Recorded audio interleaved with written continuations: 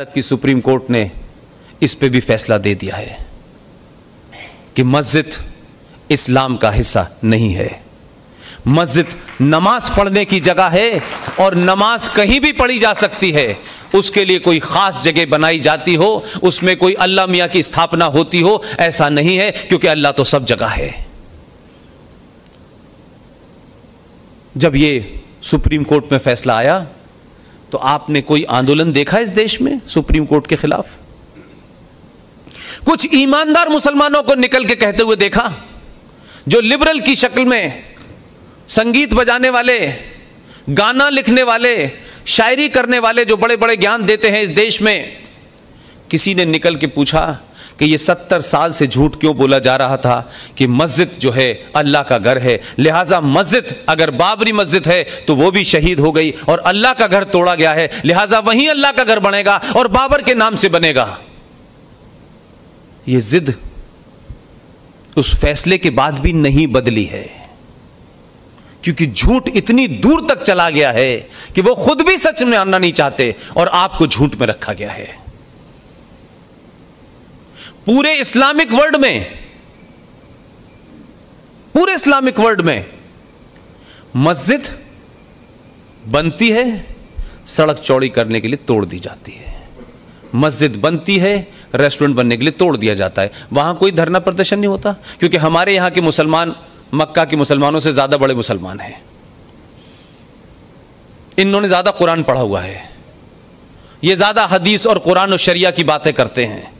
लेकिन आप देखें कि जो असली इस्लाम है और भारत में जो इस्लाम है, उसका अगर आप तुलनात्मक अध्ययन करें तो पूरे आपको पाकिस्तान, बांग्लादेश और हिंदुस्तान में जो इस्लाम है, वो कंप्लीट फ्रॉड है। टोटल फ्रॉड है। सऊदी अरब में जाते हैं आप, नमाज़ का वक्त होता है, लोग क्या कहते हैं? ये नमाज़ क्या है? शब्द नमाज़ क्या है? नमाज़ शब्द, संस्कृत का शब्द है, जिसका मतलब है किसी के सामने अपने को झुका देना। यह संस्कृत का शब्द है।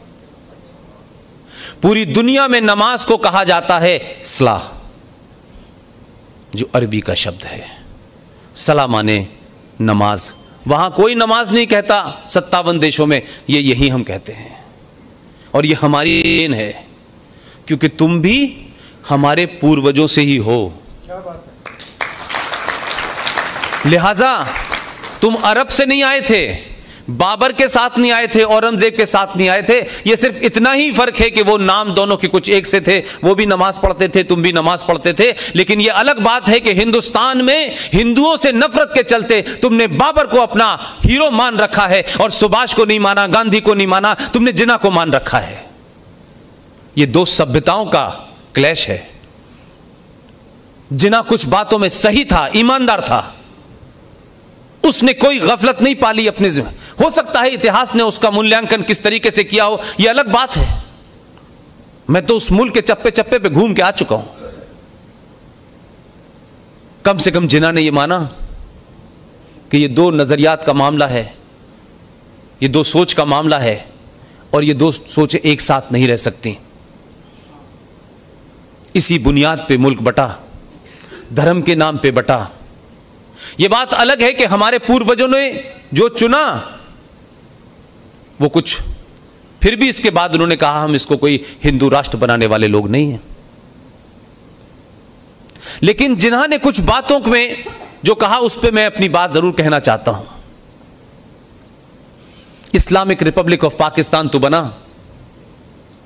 बहुत सारे मुसलमान जोश में चले गए थे, उधर के सब गवर्नर बनने वाले हैं। इस मुल्क में मुसलमान रह गए, उनको भी किसी ने नहीं निकाला, किसी ने नहीं मारा उनको, और कहा, आप रह सकते हैं। जो सभ्यताओं की बात जब उन्होंने कहा कि दो सोच की बात है, उसको मैं कुछ हद तक एग्री करता हूँ।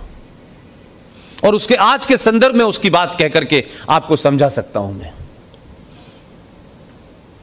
1971 का युद्ध हुआ और 1971 के युद्ध में बांग्लादेश आज़ाद हुआ। 93,000 पाकिस्तान के फौजियों को आपने सरेंडर कराया। दो महीने तक उस वक्त के हिंदुस्तान ने जब अमेरिका से गेहूँ आया करता था आप जानते हैं भारत की कोई बहुत बेहतर स्थिति नहीं थी। तब भी आपने दो महीने तक उनको हिंदुस्तान में रखा। पूरे 93,000 में से किसी एक के एक खरोच तक नहीं आई। और आज तो लोग एक अभिनंदन को पकड़ने के बाद पूरा पाकिस्तान कह रहा था इसको छोड़ो मत इससे बार्गेनिंग करो इसके बदले में पाकिस्तान हम हिंदुस्तान से बार्गेनिंग करें। एक को पकड़ने के बाद दीवानगी चढ़ गई थी उनको। हमने 93,000 लोगों को बाइज्जत वापस भेजा। बदले में कुछ नहीं लिया जो चाहते वो ले सकते थे। लेकिन कारगिल का युद्ध हुआ। एक फौजी युद्ध में उधर रह गया। जनेवा कन्वेंशन की बहुत बात होती है। कश्मीर को लेकर जनेवा कन्वेंशन रोज पाकिस्तान जाना चाहता है। उसी जनेवा कन्वेंशन के अंदर है कि फौजी का धर्म अपने देश के प्रति होता है, वो किसी से दुश्मनी नहीं करता है। लिहाजा जनेवा कन्वेंशन के तहत अगर आपकी तरफ़ कोई फौजी रह गया है तो आप उसके साथ बुरा व्यवहार नहीं करेंगे। आप उसको बंदी बना सकते हैं। वो आपके यहाँ रह सकता है, लेकिन कोई उस पर अमानवीय व्यवहार नहीं करेंगे। लेकिन एक फौजी भारत का उधर रह गया। आपने क्या किया? यह आपकी नफरत हिंदुस्तान के हिंदू से थी। कि आपने उसकी आँखें निकाली, आपने उसके गुर्दे निकाले, उसके शरीर के सारे अंग भंग कर दिए और उस सौरभ कालिया को आपने वापस हिंदुस्तान भेज दिया। यह संस्कृति उनकी थी यह संस्कृति हमारी थी, यही फ़र्क था जो जिना को समझ में आ रहा था।